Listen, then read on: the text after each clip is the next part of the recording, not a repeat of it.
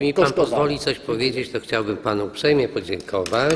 Dziękuję za to. I teraz pan poseł Henryk Kowalczyk, Prawo i Sprawiedliwość.